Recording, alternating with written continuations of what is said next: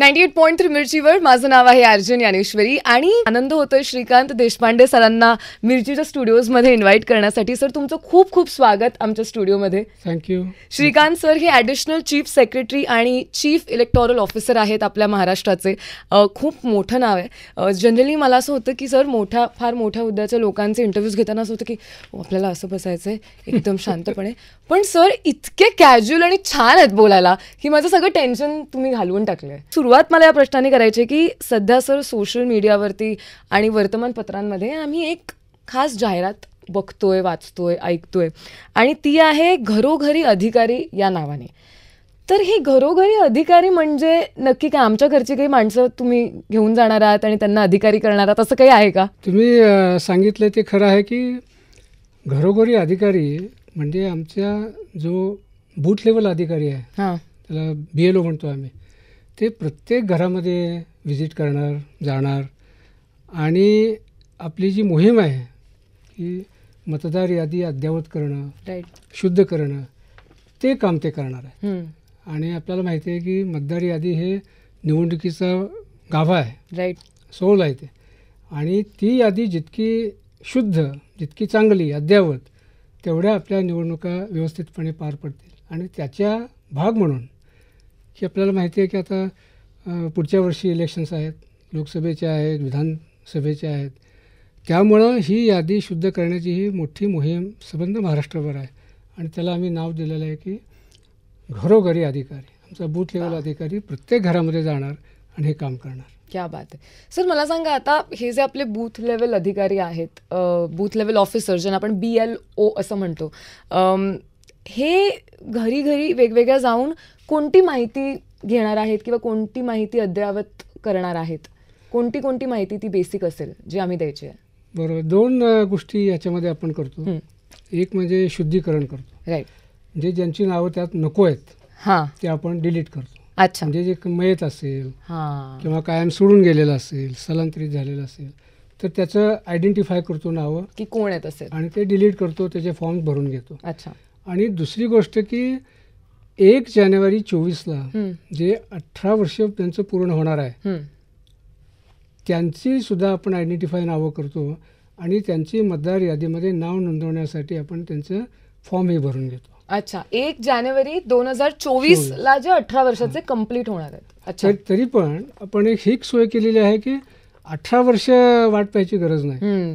आता तर आम्ही असं केलेलं आहे की सतरा वर्ष पूर्ण झालं हा. तरीसुद्धा आम्ही त्यांचा ॲडव्हान्स फॉर्म घेतो. वाव. आणि त्यांचं ज्या ज्या वेळेला अठरा वर्ष पूर्ण होईल. त्या त्या वेळेला ते अर्ज आपण प्रोसेस करतो आणि ते आपण त्यांच्या मतदार म्हणून त्याची नाव नोंदणी करून घेतो. राईट ही मोहीम आहे. म्हणजे एका बाजूला नवीन मतदार शोधायचे त्यांना ह्याच्यामध्ये फॉर्म भरून इन्क्लूड करायचे. आणि दुसऱ्या बाजूला जे मतदार आपल्याला डिलीट करायचे आहेत मयत आहेत किंवा स्थलांतरित आहेत त्याचं शुद्धीकरण करायचं. बरोबर. अशी ही दुहेरी कामं ही बी एल ओ त्या त्या घरात जाऊन करतात. ते फॉर्म भरून घेतात त्याचे सपोर्टिंग डॉक्युमेंट्स घेतात. तर ही मोहिमेमध्ये हे त्यांचं मेन काम आहे. राईट जे तरुण लोक आहेत त्यांना वोट करण्यासाठी motivating factor according to you काय आहे? मोटिवेटिंग फॅक्टर म्हणजे आम्हाला अनेक ठिकाणी जेव्हा मी कॉलेजमध्ये जातो आणि तिथे विद्यार्थ्यांशी इंटरॅक्ट करतो त्यावेळेला मला ते प्रश्न विचारतात की आम्ही वोट कशासाठी करायचो. पण मला वाटतं आपली ही जी लोकशाही आहे त्या लोकशाहीमध्ये मतदान करणे किंवा मतदान न करणे हे हा जो तुम्हाला एक स्वातंत्र्य आहे ते स्वातंत्र्य खरं म्हणजे लोकशाहीनंच तुम्हाला दिलेलं आहे. आणि ही लोकशाही टिकवणं आणि ती जतन करणं हे खरं म्हणजे प्रत्येकाच्या हातामध्ये आहे. राईट आपल्या आजूबाजूची जी प- परिस्थिती आहे पॉलिटिकल असो सोशल परिस्थिती असो त्याचा परिणाम केवळ आपल्यावर नाही. तर आपल्या पुढच्या पिढीवर आहे. आणि म्हणून या प्रक्रियेमध्ये भाग घेणं हे फार महत्त्वाचं आहे. आपण म्हणतो की आपला देश हा तरुणांचा देश आहे. हो. भवितव्य आपल्या ह्या तरुणांच्या हातात आहे. आणि हा जर तरुण या प्रक्रियेपासून जर दूर गेला. तर मग आपण कुठल्या लोकशाहीची गोष्ट करणार? राईट. आणि म्हणून मला असं एक वाटतं की विद्या विशेषतः युवकांनी याच्यामध्ये मोठ्या प्रमाणात भाग घ्यायला पाहिजे. अनफॉर्च्युनेटली मतदार यादीमध्ये युवकांचं प्रमाण जेवढं हवं आहे तेवढं नाही आहे. म्हणजे जर आपण अठरा एकोणीस वयोगट घेतला तर त्याच्यामध्ये आपल्या लोकसंख्येमध्ये साडेतीन टक्के प्रमाण आहे. पण मतदार यादीमध्ये पॉईंट सिक्स टू पर्सेंट प्रमाण आहे. माय गॉड म्हणजे जवळजवळ आठ ऐंशी ते पंच्याऐंशी टक्के हे या वयोगटातल्या याच्या बाहेर आहेत. तीच गोष्ट वीस ते एकोणतीस गट गटाची आहे. त्यामुळे जर तरुण जर या प्रक्रियेच्या बाहेर असेल तर मला वाटतं तो लोकशाहीसाठी ही चांगली गोष्ट नाही चिंतेची गोष्ट आहे.